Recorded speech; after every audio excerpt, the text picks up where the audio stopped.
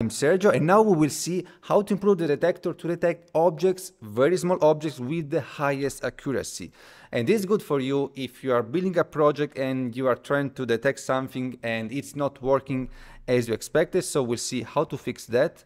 This is a general overview where we'll get into some technical aspects and we'll write some Python code, but we will see generally also what mistakes you should avoid and we will be using YOLO and Python and test this on many different samples. For example, we'll try to detect ants. You see there are many ants on this video right here. We'll test this on a drone view you see, we have high resolution drone view with extra small objects, and it is something very challenging for the normal object detection because it doesn't work. And we'll compare that on how the normal object detection and does and how integrated some more algorithm will perform. And also very crowded places. One is this, for example, that if you tested object detection on this one, you for sure experience some very low accuracy normally. And we'll do some experiments also with this one where there is a huge crowd. Why is this useful? For many reasons. Of course, you can count objects on a very large images.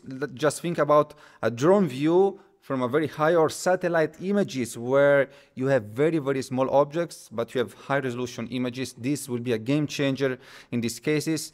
When you detect objects with accuracy, then you can also track them. For example, if you need to track vehicles from a very high drone view, you can do this. And then, of course, you can make the detector more reliable, which is essential if you are doing this professionally. Let's go. Now, for all of these, we'll be using the YOLO object detection model, now YOLO 11 from Ultralytics. It might be different when you're watching this video because every few months there is a new model. They improve so fast, but it doesn't change much because the structure will be always the same.